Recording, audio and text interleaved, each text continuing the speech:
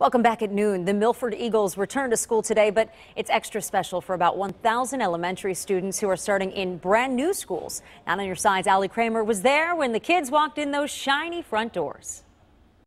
It's all nerves and excitement on the first day of school. Parents dropping off their kids, and this time it's at a brand new school here at Seipelt Elementary. But top of mind for some of the parents that we talked to is security, and that security starts at the front door.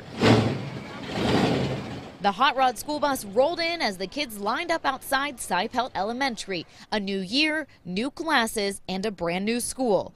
Elin Lindquist got to see her new class just yesterday. I like all of the monkeys everywhere on the lockers and stuff. No nerves today. Her backpack is loaded down. I don't know because my mom is the only one that packed it, but I know that there's my lunch. And it's off to first grade.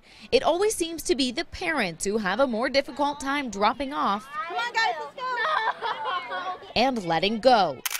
Mother Allison Walkowitz grabbed a quick picture before sending her first, Addie, off to school. She is super excited, and that's why, as much as like I want to break down, and I am, um, I'm excited for her. She's super, super ready. But Allison tells us it's never too early to talk about school safety, even if it's just the basics. She's aware that you know to stick with the teacher. You have any issues, raise your hand or tell anybody if you see anything you know weird. But I, I'm really not trying to instill this you know scared factor. I want her to enjoy kindergarten. Principal Sarah Greb will be going through safety protocols on their first day. Our district does the ALICE training, so um, that's kind of big right now. Two sets of double doors are locked throughout the day, and new phones in each room enable teachers to call for help in emergencies. So the outside labels have their room numbers, so should um, something happen that we need first responders, it's just an easy access point for them to be able to see from the outside what's where they need to be. Allie Kramer, 9 on your side.